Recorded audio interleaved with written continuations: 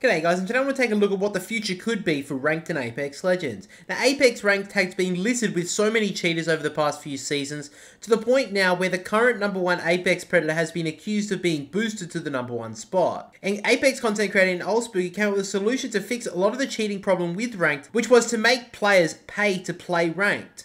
Now, I don't actually mind the idea as long as it is only a small fee and it is a one time only payment to play ranked forever, but I definitely think it's an interesting way to move forward with the ranked system, as this current ranked system at the moment is definitely not working. But anyway, guys, make sure to subscribe for one free Heirloom Shard.